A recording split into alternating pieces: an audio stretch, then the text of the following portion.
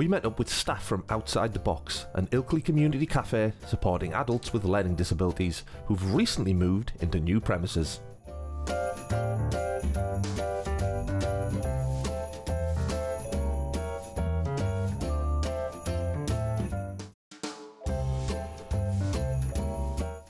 basically the cafe is very much about um, inclusion um, and what we do is we, we have members um, with learning disabilities uh, who work in the, in the cafe and it's very much about promoting uh, independence and, um, and personal growth. OTB um, um, it is a charity supporting people with learning difficulties and learning disabilities um, and it gives them like more extra confidence um, out in the community and also inside um, at their home life. We've got the cafe, but we've also got this shop here where a lot of the um, jams and, and chutneys and things are made in the cafe are actually sold uh, and they're made by the, the, the members um, with, with the staff as well.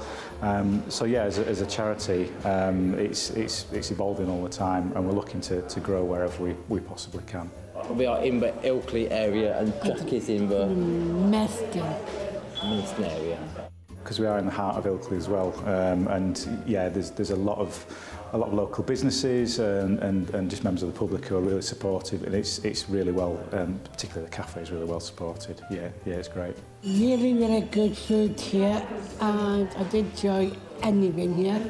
I'm a best company and I'm uh, treating us like a family.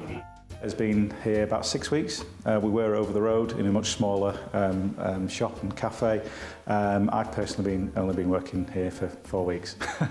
It- it's much bigger than it was previously, um, but but with that, it's it's more and more people have come in. You know, so uh, yeah, it's it's great. It has been getting busier over the last sort of couple of weeks anyway, um, and particularly with the Christmas lights switch on today. I think um, yeah, we will get busier and busier towards Christmas. Yeah, and uh, which is great for us. For me, it, it's got be scones because we have a secret ingredient. that's really, really nice.